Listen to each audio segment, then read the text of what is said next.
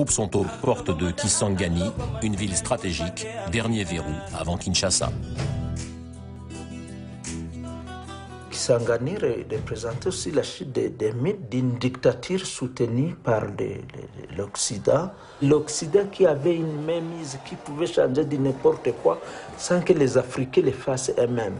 C'était une fierté, une renaissance d'une conscience nouvelle de prise en charge des Africains par eux-mêmes. Renverser Mobutu et imposer un nouvel ordre en Afrique. Le rêve est à portée de main des rebelles et de leurs alliés. Mais les Nations Unies craignent que la prise de Kinshasa ne tourne au bain de sang. Elles tentent alors désespérément d'imposer une rencontre de la dernière chance entre Kabila et le vieux dictateur qui refuse d'abdiquer.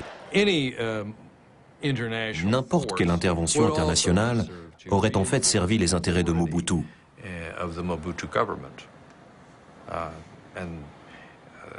C'est ce que voulaient les Français. C'est ce que nous ne voulions pas. Il n'y avait aucune raison de sauver Mobutu.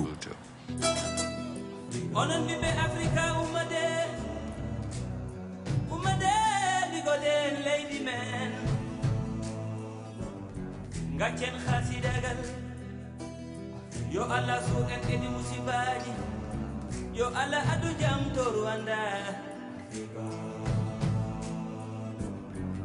yo allah adu jam to burundi yo adu jam to jona Dans la capitale zaïroise, la tension est palpable.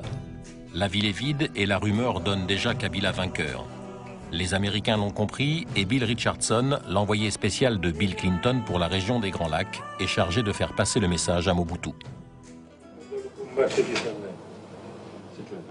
Vous m'imaginez, moi, un ambassadeur américain allant voir Mobutu, le président d'un pays, pour lui dire qu'il était important qu'il quitte le pouvoir C'était difficile.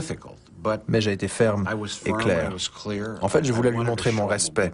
Il était au pouvoir depuis des années, il avait été l'ami des Américains. Parce qu'il a vraiment cité toutes les grandes étapes de toutes les grandes choses que Mobutu a fait dans sa carrière en faveur des États-Unis.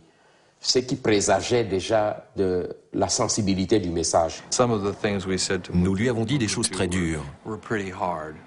Par exemple, que son armée allait perdre.